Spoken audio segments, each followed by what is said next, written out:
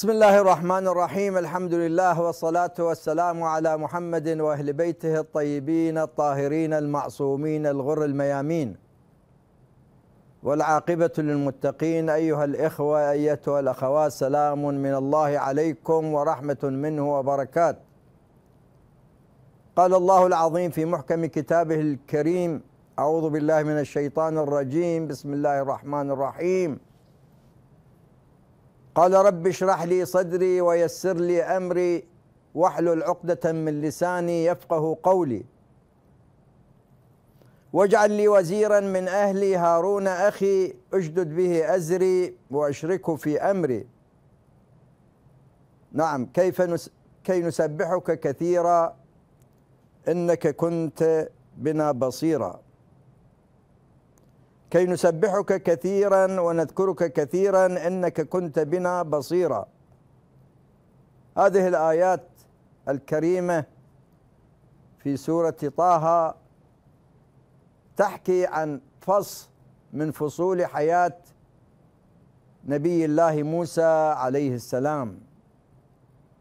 الفصل المهم من حياته لحظة تلقي الأوامر والرسالة من الله سبحانه وتعالى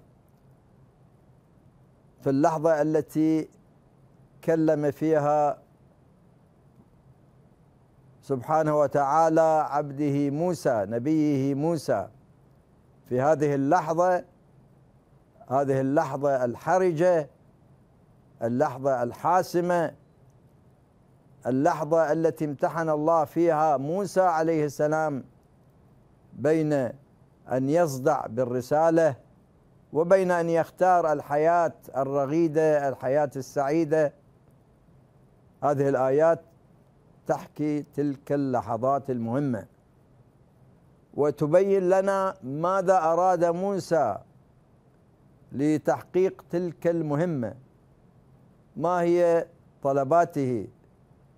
بل ما هي متطلبات العمل الإسلامي. حيث هذه الآية بينت لنا معالم هذه المهمات والمتطلبات للعمل الإسلامي. طبعا الآيات تبين لنا حكاية موسى عليه السلام أثناء تواجده في شبه جزيرة سيناء تلك الصحراء القفرة. وكانت معه زوجته وهو عائد من مدين ذاهب إلى مصر.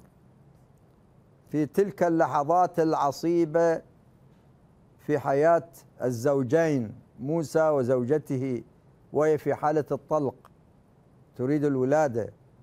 والجو بارد جدا والسفر وأتعاب السفر وأيضا فقدان أهم شيء في تلك الليلة في تلك الساعة في تلك اللحظات العصيبة حيث كانت الزوجة في حالة الطلق وهي تنشط قليلا من النار. فكان البرد شديدا قارصا. فأخذ موسى عليه السلام يبحث هنا وهناك عن نار وإذا به يشاهد من بعيد قبسا من نور قبسا من نار. فاتجه إلى ذلك وإذا به يصل بين الجبال إلى شجرة تضيء كالمصباح. وضياؤها يصعد إلى السماء وهي تورق باستمرار بأوراق خضراء. فتعجب موسى ووجد نفسه في مكان آخر في مكان في عالم آخر غير ذلك العالم المعتاد ذلك العالم الذي يعرفه. القرآن الكريم يبين لنا هذه اللحظات الحرجة من حياة موسى عليه السلام يحاول أن يرسم لنا صورة عن تلك اللحظة وتلك الرسالة وتلك المهمة التي أنيط بها. يقول الله تبارك وتعالى بسم الله الرحمن الرحيم وهل أتاك حديث موسى؟ إذ رأى نارا فقال لأهلهم كثوا إني آنست نارا. لعلي آتيكم بقبس أو أجد على النار هدى. فلما أتاها نودي يا موسى إني أنا ربك فاخلع نعليك إنك في الوادي المقدس طوى. وأنا اخترتك فاستمع لما يوحى. وإذا بنفسه يجد أنه في مكان آخر في عالم آخر الله تبارك وتعالى يناديه يكلمه وهو كليم كليم الله موسى عليه السلام. اختص هذا النبي العظيم بكلماته. فماذا يريد الله منه؟ الآن موسى في لحظة من لحظات الحاسمة في حياته. هو جاء ليبحث عن قبس من نار حتى هذا القبس يأخذه إلى زوجته المحتاجة إلى النار وهي في حالة الطلق. وإذا به يرى نفسه في مكان آخر في عالم آخر وصوت آخر يناديه. يكلمه بل يكلفه أيضا. فماذا يريد الله سبحانه وتعالى منه؟ اذهب إلى فرعون إنه طغى. مسؤولية كبيرة. وحقيقة أمر خطير. وموسى الذي خرج من مصر في تلك الحالة كان مطاردا من قبل فرعون أراد أن يقتله. ثم قتل شخص من بني إسرائيل من من قوم فرعون.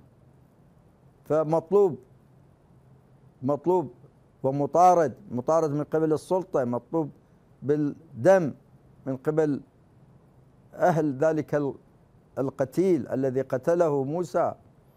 ف ففي حالة عصيبة وحالة حرجة وهو في نفس الوقت ترك زوجته وحدها في قعر الصحراء في ذلك البرد القارص فماذا يجيب سبحانه وتعالى؟ ماذا يقول له؟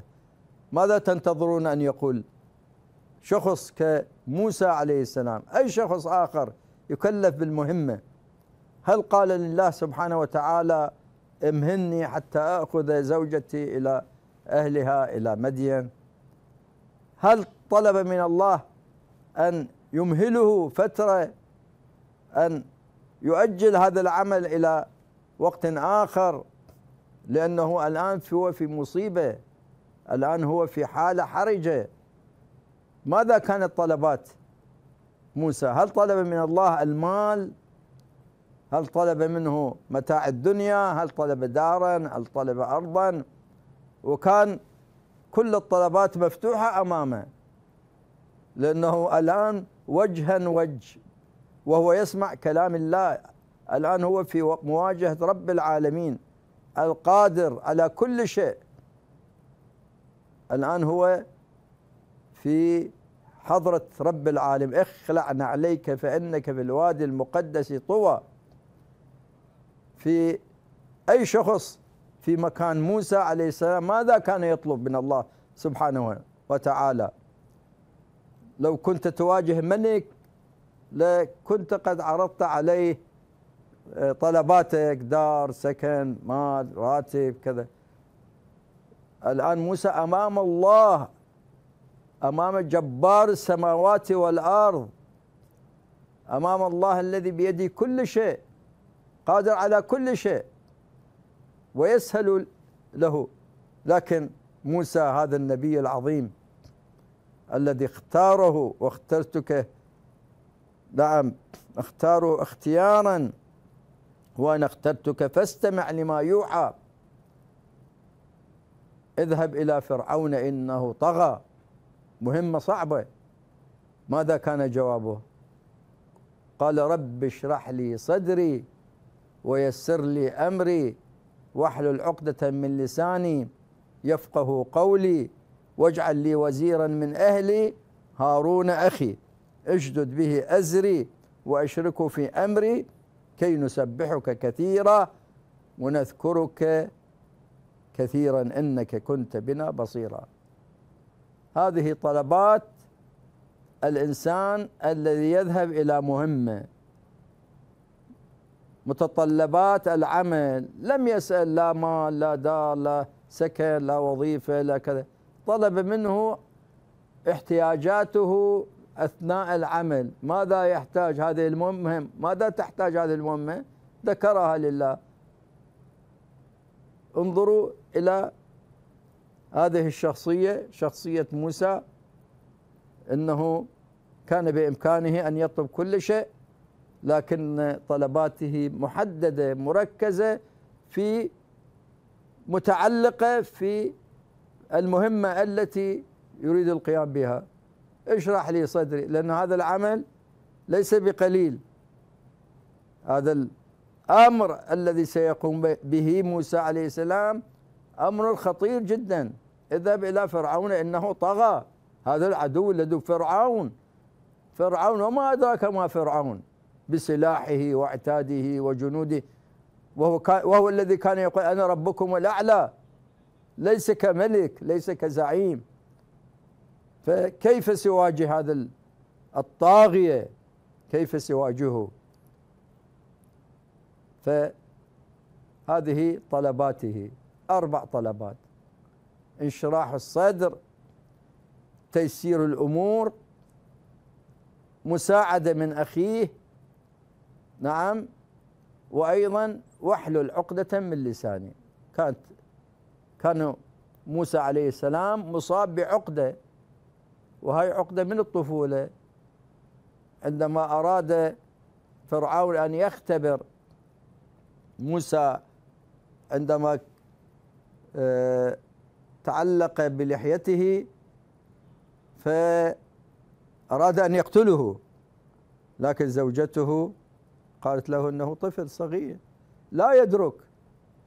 فأراد أن يختبر ذلك أن أراد أن يتحقق من قدرة موسى على الفهم فعرض عليه جمرا وتمرا جمر من النار وتمر. فأراد موسى أن يمد يده إلى التمر فجاءه جبرائيل وحوله إلى الجامر لأنه لو كان يأخذ التام لكان قد قتل. فوضعه على لسانه فاحترق لسانه فبقت هذه العقدة على لسانه. نعم هذا ما يبينه الله سبحانه وتعالى في محكم كتابه العزيز واحلل عقدة من لسانه. فحقيقة هذه الدعوة التي دعاها موسى عليه السلام. هذه الدعوة وهذا الدعاء الذي آه، تقدم به إلى الله إلى خالقه هي في الواقع آه، أهم ما يتطلبه العمل الإسلامي العمل الجهادي. بل بغض النظر أي عمل آخر أي عمل آخر في الوجود في الحياة هو بحاجة بحاجة إلى هذه الأمور الأربعة. بحاجة إلى انشراح الصدر. فأي عمل تقدم عليه إذا لم يكن عن انشراح في الصدر هذا العمل سيكون فاشلا لا تستطيع أن تؤديه.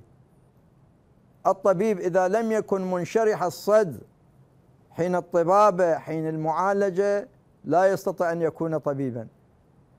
بل سيكون طبيبا فاشلا يكون طبيبا رغما عن أنفه. والطبيب الذي هو يعمل بالرغم عن أنفه هذا طبيب فاشل. أي عمل أيها, أيها الأخوة؟ تريد أن تقوم به؟ الشرط الأول في نجاح هذا العمل هو انشراح الصدر. يكون صدرك منشرحا لهذا العمل منشرعا لهذه المهمة التي تقوم بها. ابتداء من التعليم إلى آه، عمل مثلا الصياغة فلاحة تجارة صناعة وأيضا العمل الجهادي العمل الإسلامي. فأنت بحاجة إلى انشراح الصدر. انشراح الصدر يجعلك قادرا على المواصلة والاستمرار. وقادرا على التغلب على الصعاب والمشكلات لأنه هناك مشكلات هناك صعاب. كيف تواجه هذه الصعاب والمشكلات؟ بانشراح الصدر. فإذا أول شيء يطلبه الإنسان لإداء أي عمل يكلف به هو انشراح الصدر. رب اشرح لي صدري. ثانيا ويسر لي أمري. تيسير الأمر. أيها الإخوة ليس هناك عمل في الكون بدون صعوبات بدون مشاكل وبدون مخاطر وبدون عوائق. أي عمل فيه مشكلات فيه صعوبات فيه تكاليف فيه ف فلا بد أن ينطلق الإنسان لهذا العمل. لابد أن ينطلق بنظرة تفاؤلية. بنظرة يطلب من الله سبحانه وتعالى تسيير هذا العمل تسهيل هذا العمل يكون هذا العمل سهلا له ويسر لي أمري فهذا شيء مهم جدا. وبالأخص إذا كان هذا العمل هو عمل إسلامي. هذا العمل الإسلامي هو عمل تطوعي لله سبحانه وتعالى. الإنسان يقوم بهذا العمل لله سبحانه وتعالى. فهذا العمل هو في تضاد مع جملة من الرغبات النفسية والشهوات والإنسان يريد الراحة الدعاء الدعوة الإلهية تدعوه إلى الجهاد أن يخرج إلى الجهاد إلى القتال. وهو يريد الراحة في أسرته مع أهله.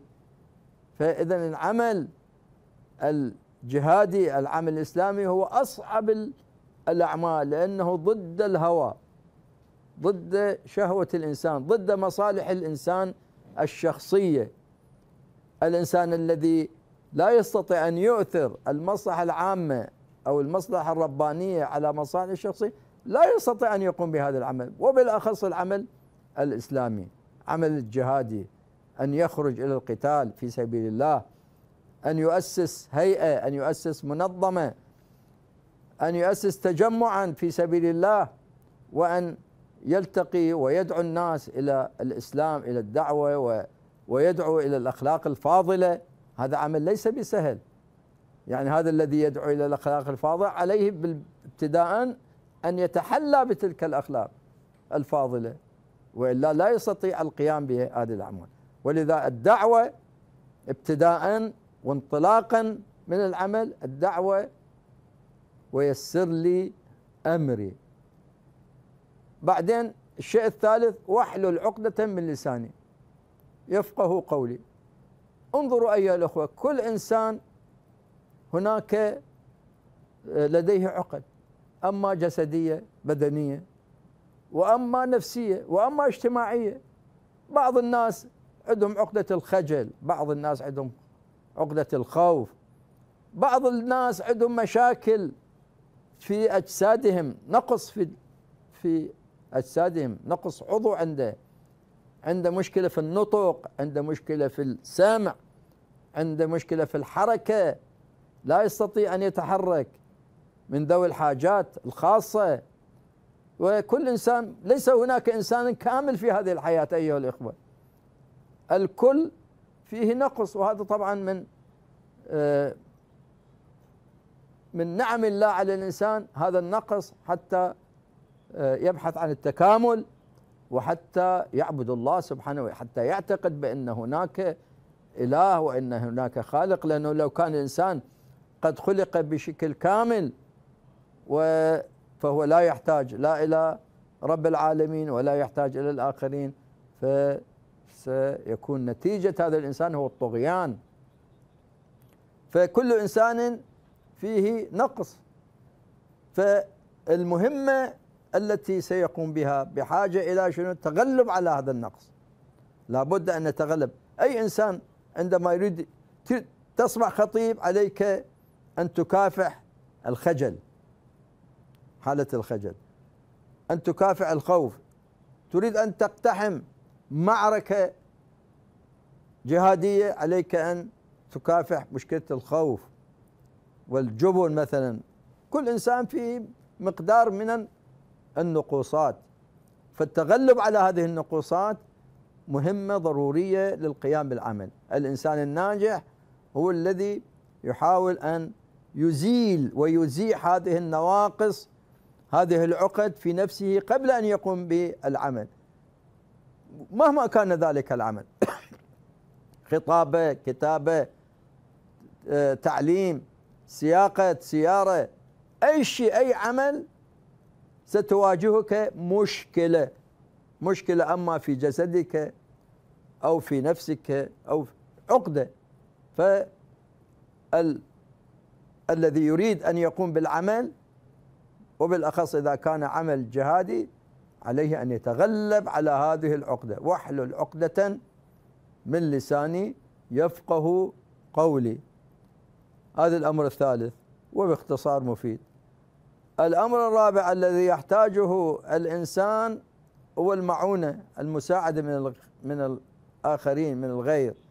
وبالأخص في العمل الإسلامي. العمل الإسلامي يحتم على الإنسان أن يكون عملا جماعيا. العمل الفردي أيها الأخوة عمل فاشل خصوصا في العمل الإسلامي. عمل الإسلامي إذا كان عملا فرديا فأحكم عليه بالفشل. نعم.